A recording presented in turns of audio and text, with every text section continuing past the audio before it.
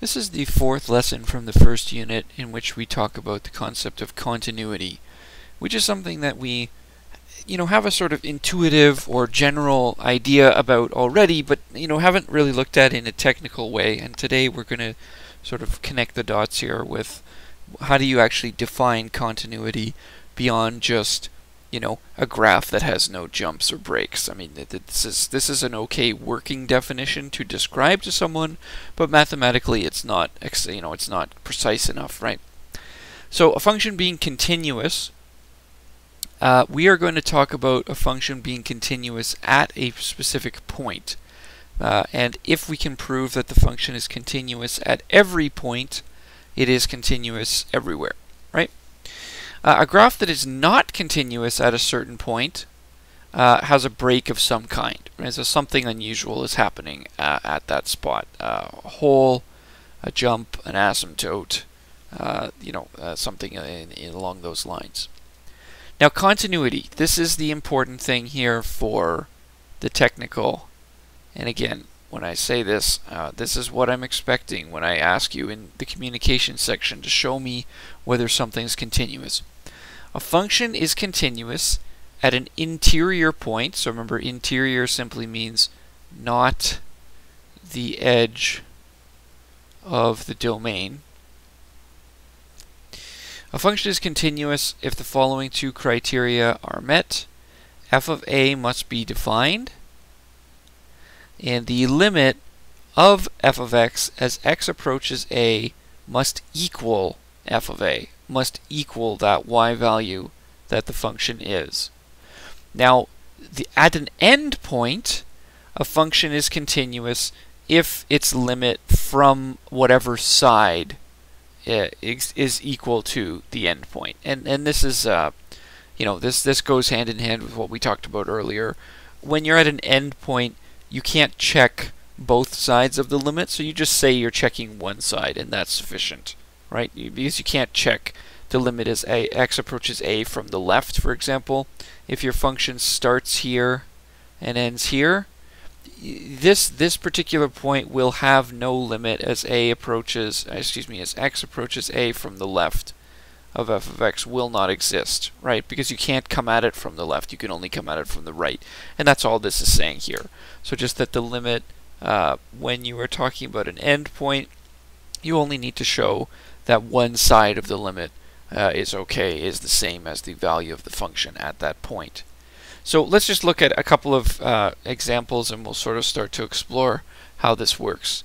So it says test the continuity of each of the following functions at x equals negative 2. Now on this particular function, you can see there's a point here and there, you know, it, it is a point in a long sequence of values. If you approach it from the right or if you approach it from the left, both sides, uh, you know, approach the same value. They both uh, converge on the same value. And so we would say the limit here as x approaches negative 2 of f of x is simply equal to 1, right? Uh, you know, it, it's a point there's nothing special going on. Here, the left side approaches here. The, uh, sorry, I'm still thinking of this in terms of limits. Also, f of negative 2 is also 1.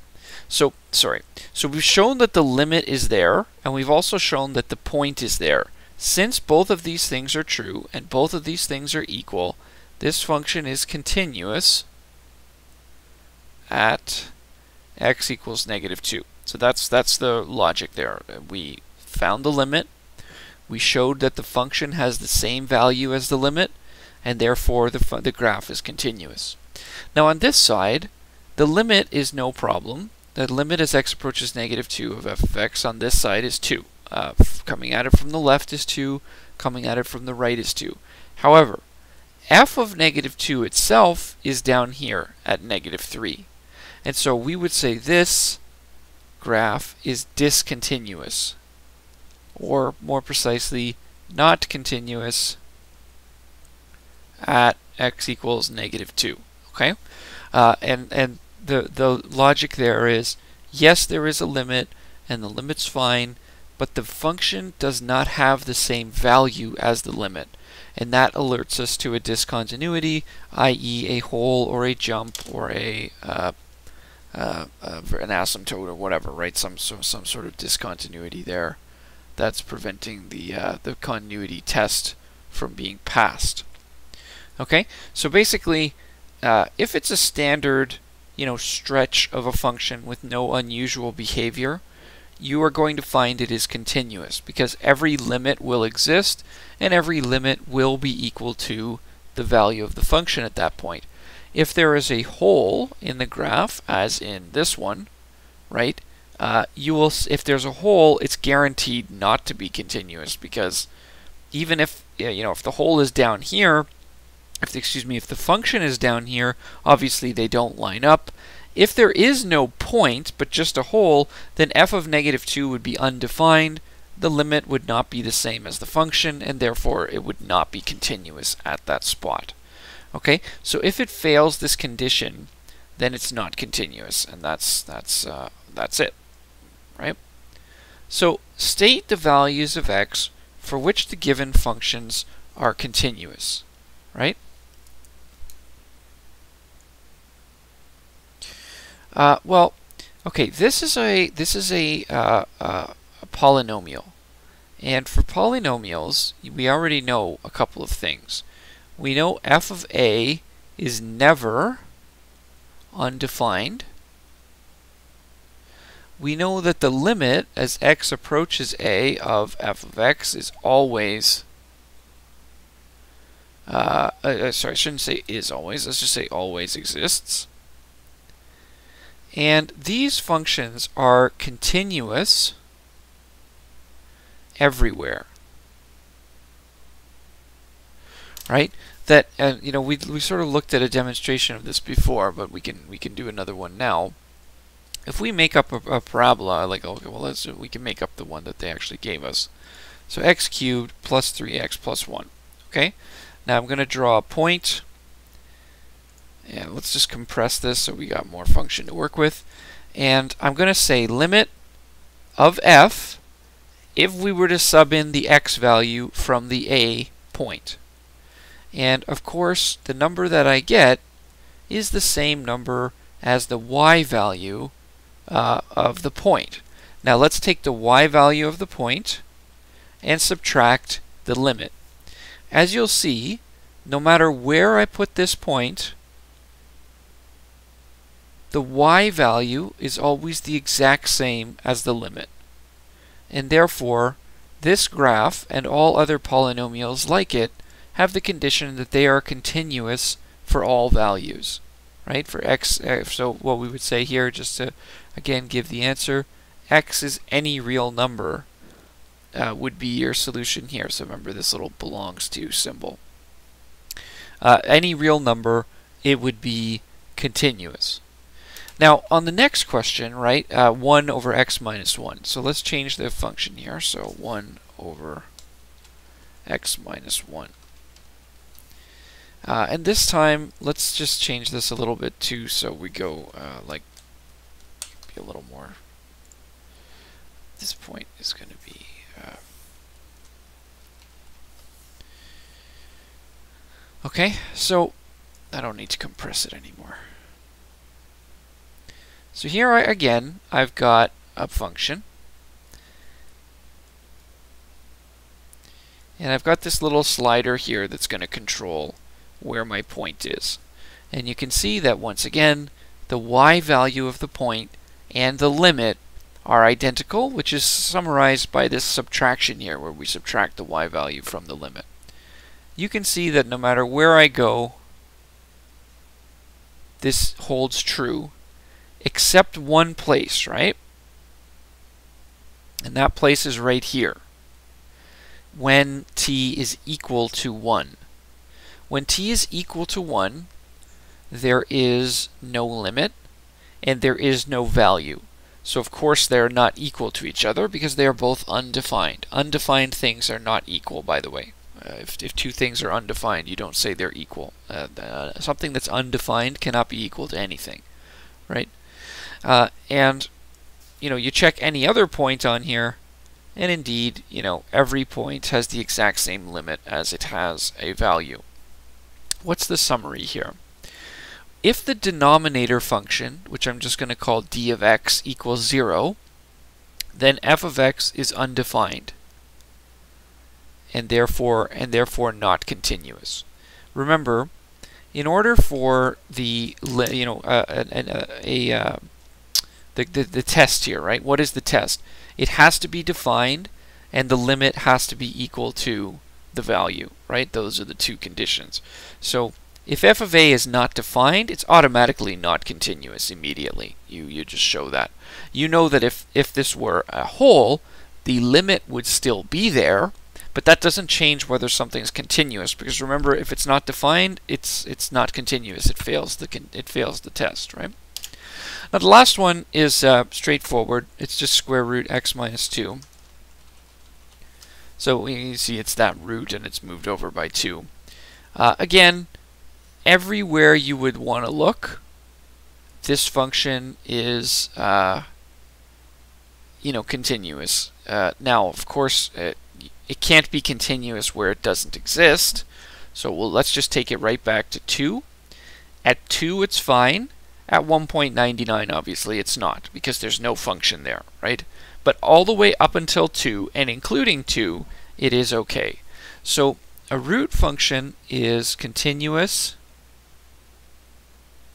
for all values in its domain.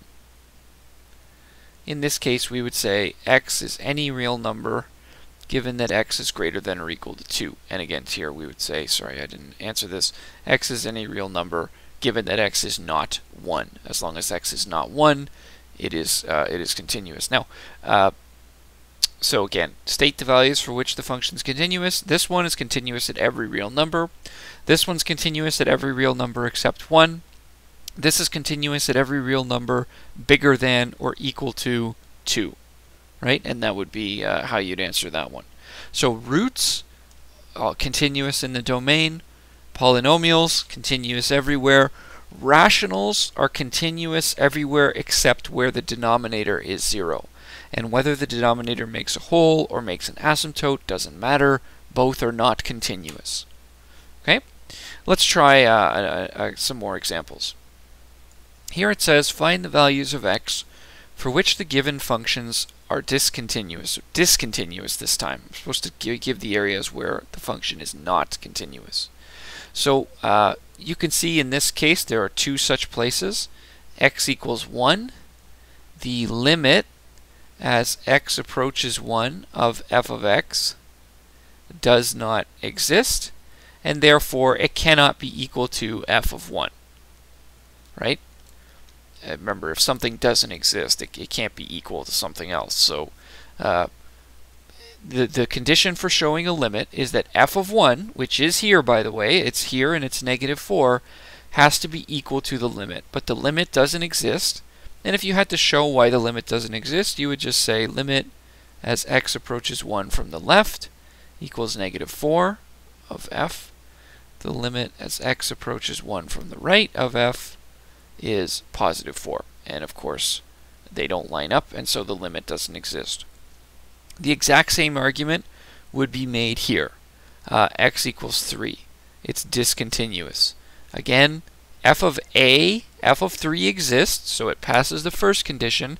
It does not pass the second condition because the limit does not equal f of a. There, there is no limit to be equal to f of a here. So it's discontinuous here, and it's discontinuous here.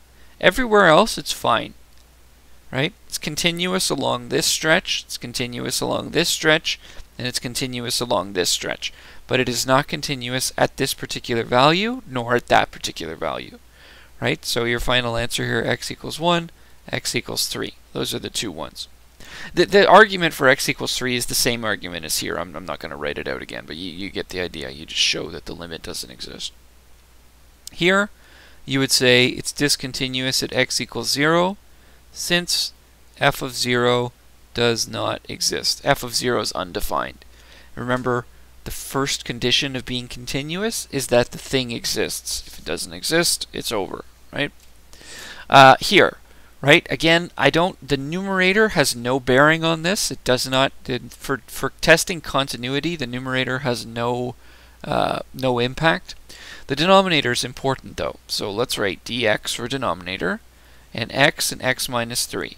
Now I can clearly see that when x is 0 or when x is 3, f of x is undefined. If f of x is undefined, it's automatically discontinuous. There would be no other reason, so at x equals 3, x equals 0. There would be no other reason on that graph for another area of it to be discontinuous, right? And we can we can show that. Just do a quick picture of it. So f of x equals x squared plus 8. Sorry, I gotta put that in a bracket. Over x squared minus 3x. Okay. Now again, if you look at my uh, if you look at the graph here, as if t is zero, you have a problem. But if t is any other value, right, my limit check versus my number check uh, always shows that the, the, the, the y value is the limit, right? At 0, that fails, and again, that fails at 3, right? But any other place, right, at 3 it fails as well. But after 3, it's fine. In between them, it's fine. And before 0, it's fine, right? As everywhere else is okay. Again, we'll just look at this one and we'll say the same thing. f of 2 is undefined, right? And, uh, uh, you know, it, it, f of 2 is actually indeterminate, right? It's 0 over 0. But remember, so if you are finding a limit, let, let maybe let, let me draw it and I'll show I'll show the difference. Okay, uh, 2 makes the function undefined, so let, let's draw it again. So this time uh, it's x squared, take away x, plus 2 uh, over x minus 2. Okay? Uh, no, sorry, it isn't indeterminate. I'm glad I graphed this, because 4 take away 2 plus 2 is not 0. Sorry, I thought it was take away 2. If the top had been uh, take away 2, then it would be indeterminate right? But again, so let's just go with this example for a sec. Let, let's say the question was a bit different for a minute. Even in this example, when t becomes 2, right, and I check 2, it still isn't something that I can say uh, is uh, continuous. Because yes, there's a limit there, right? Limit f f2 exists, then it's you know it's it's at 2 3, but the function itself is not there at 3. And because the limit and the function are not equal, we can't say that, that it's continuous. Now again, in the way the question was asked, which is like this, it's more obvious because it's not actually, it's not even indeterminate, it's just an asymptote, and you know, there are any number of reasons it fails the continuity test because of an asymptote. It's not defined, and there is no limit, right? It fails both parts. So this is obviously not continuous either. Even if it had been a hole, it still would not be uh, continuous. Okay, and that's uh, that's what's going on there. Um, Okay, so that's just some examples there about checking if things are continuous. Now, many times uh, you will be asked about a, a, a, piecewise function and is it continuous. Now, when we were doing the limits one, primarily we were interested in the joints. But understand what this question is asking. This question is asking, is the function continuous which which means is it continuous for all values? So let's let's draw a number line with all values on it and work this out. If x is less than 2, then my my function is x squared. I know x squared is continuous because x squared is a polynomial if the, the graph is greater than 2, and I know it says equal, but I'm just, just trust me with greater for a second. If it's greater than 2, it's a polynomial, it's a linear, and I know a polynomial is continuous everywhere. So I have just shown that the graph is continuous uh, from negative infinity up until 2, and then from 2 until infinity. What I need to do now is make sure it's actually continuous at 2. How would I check that? I'd want to know the limit as x approaches 2 from the right and the limit as x approaches 2 from the left. And then I'd want to know, I'd want to check that against f of 2. Now f of 2, um, it, it, would come from this definition because this is where it says x uh, greater than equal to 2. If I plug in 2, I get 0, right? So that's where the function actually is at that point. Uh, the limit as x approaches 2 from the right, right, that this would be, uh, this second one would be x approaching 2 from the right. The first one would be x approaching 2 from the left, right? Because we're on the left side of it with the x squared. We're on the right side of it with the x minus 2. So from the left, we are approaching the value 0. You just plug in the 2 into here and get the answer. Uh, from the right, if you plug in 2, you get the number 4. And this makes us realize that this graph, which looks roughly speaking like this, right, uh, is is not continuous, right? Remember, if something is continuous, that means it's continuous everywhere. So even if there's one discontinuity only, you say this function is not continuous. So let's say this function is not continuous since uh, lim x approaches 2 of f of x does not exist. Uh, it is and, and, and it is therefore discontinuous. Discontinuous at x equals 2. Okay? So again, if you're asked, is a function continuous? The, the, what that question is asking you is, is it continuous at every single value? Right?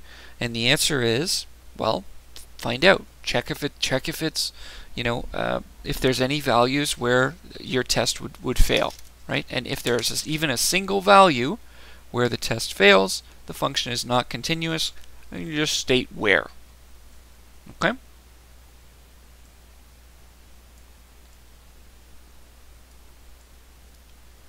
Oops. Okay, so it's just a little bit left on this one and then we'll, we will be done. It's a couple more uh, um, piecewise functions to check, and then we'll go over, we'll just summarize a bit of it at the end. Okay, graph the function of f of x and determine if it's continuous everywhere. Well, again, up until the number 3, the function is x minus 1. That is continuous. It's a polynomial. After 3, it's 5 minus x. That is continuous right? Uh, the limit as x approaches uh, 3 from the left of f of x, remember that would be this one. So this is x approaches 3 from the left, this is x approaches 3 from the right. So we sub into the top one, we get 3 take away 1, which is 2. We go to the, the bottom one, lim x approaches 3 from the right, and we take 3 and sub it into here. 5 take away uh, 3 is also 2. Now, the function exists at 3 because f of 3 is 5. Uh, sorry, f of 3 is not 5. Sorry, f of 3 is 2. And both sided limits exist and also point to 2. So everything here is good. It's continuous at this number in the middle, it's continuous in this region, and it's continuous in that region, which means it's continuous or you could say it's continuous uh, at all values, right? But, but they mean the same thing. If you say a function's continuous, I will take that to mean it's continuous everywhere. What does this graph look like? Well, uh, x minus 1 is a straight line with a slope of 1 that does this. And 5 minus x is a straight line with a slope like that, right? So something like this.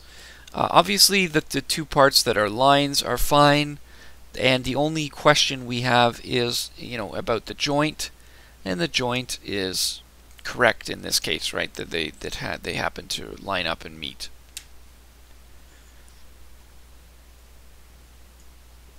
We're going to do one more of these. Okay. Before the number 2, this function is continuous.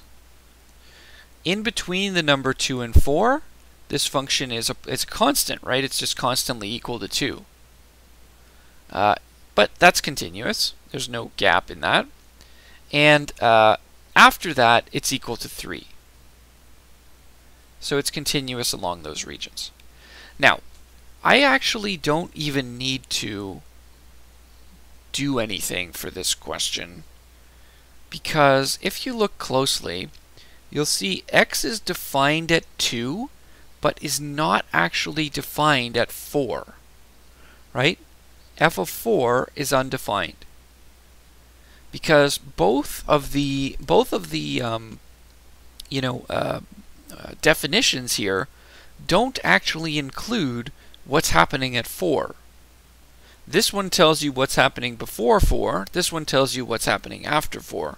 And clearly they're not, you know, they don't line up. So for this one, 4 has definitely failed.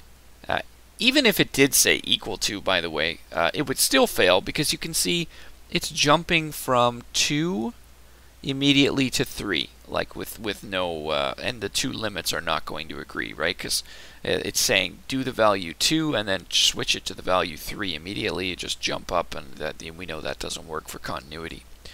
Um, so determine if the function is continuous everywhere. It's not right? Uh, the, the answer is no. Uh, it's it's so it's not continuous